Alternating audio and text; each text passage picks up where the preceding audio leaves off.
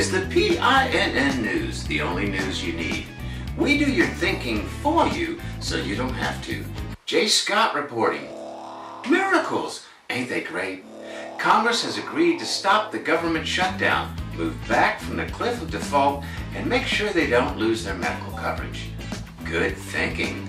Texas Senator Ted Cruz, who led the stand to defund Obamacare as part of the deal, seems to have lost this round. We asked for reaction from other Republican senators on Cruz's efforts, and they were happy to tell us what they think. Ooh, looks like cruise control failed on that flight. Do you remember to celebrate October 15th? Sesame Street magazine says it was National Grouch Day, a day for all grouches to celebrate their way of life. Sesame Street magazine says a grouch's mission in life is to be as miserable and grouchy as possible and pass that feeling on to everyone else. Only then will a grouch feel in touch with his or her world and be happy. PINN News slept on its grouch and went looking for the best grouches around. We didn't have to go far because we have cable TV. Oh, Bubba Blowhard Grouch. He's a winner. Sad Sack Sam Grouch. Commander-in-Chief Grouch. And, of course, the biggest grouch of all. And that's the kind of grouch we love at PINN News. A new Gallup poll shows 60% of Americans think the Democratic and Republican parties have done a bad job representing the people during the shutdown. Now they think a third party's needed. PINN agrees that Americans need a lot more diversity. After all, how many times can you watch a train wreck and not close your eyes? Uh, we polled the average American on just what parties they could endorse. Well, of course, the Tea Party. Oh, here's a popular one, the 1990 Party.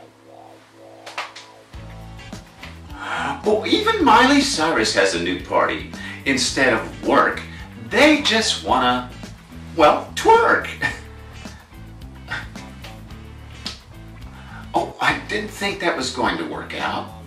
PINN News wasn't there, but got the official rumor on a walkout at the White House. Turns out it was a Fox News reporter. A correspondent Ed Henry walked out of the White House press briefing after being ignored by spokesman Jay Carney. Now, Henry tried asking a question twice, but Carney called on other people instead. And after the first time, Henry could be seen shaking his head and muttering. After the second time, Henry angrily got up and left the room.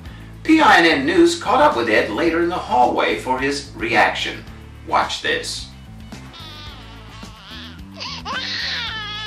PINN thinks his diaper was wet or something. Associated Press is reporting an alleged pirate kingpin has been arrested in a Hollywood-style sting that lured him from Somalia to Belgium to work on a fake documentary. Instead of a Hollywood ending, he got arrested when he landed.